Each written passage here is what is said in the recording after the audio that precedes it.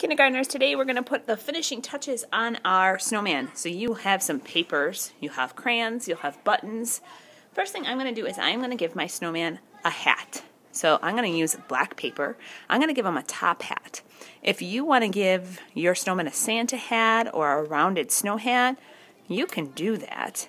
So I started by cutting a long rectangle, and then I'm going to cut a square.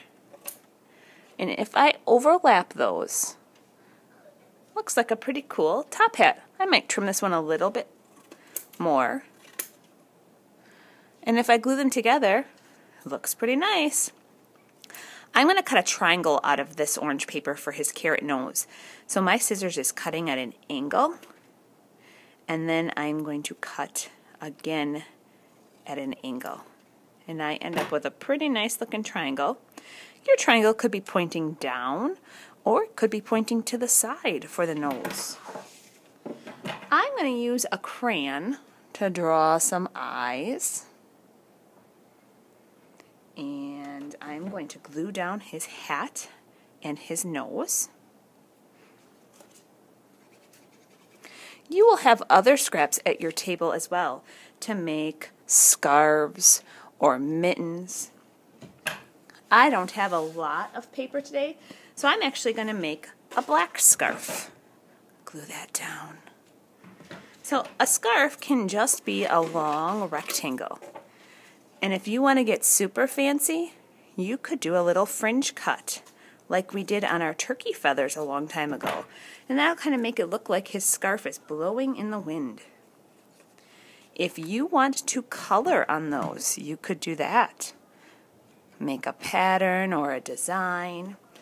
I'm going to give my snowman a nice little smiley face using some dots, like Frosty has a charcoal smile.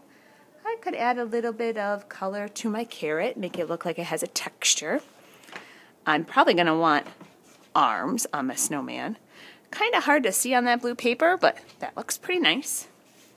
You could draw the fingers. You could cut out pretend mittens for your snowman. If you want to add snowflakes with a white crayon in the background, you could do that. Stars or dots. The very last step is to add the buttons down his belly. You can have three buttons, and I'm gluing them on last because they need a pretty good dot of glue. So I'm going to put three dots. You can have one button or two or as many as three but no more than three. So I have my three dots of glue. I'm going to put my button in the glue, and then I'm not going to touch it. It's my last step, and I can see the glue is kind of sticking out all the holes in the buttons. That's my last step, and I'm going to carry it to the drying rack. Not touching or moving those because they just need to dry. And there is your Frosty.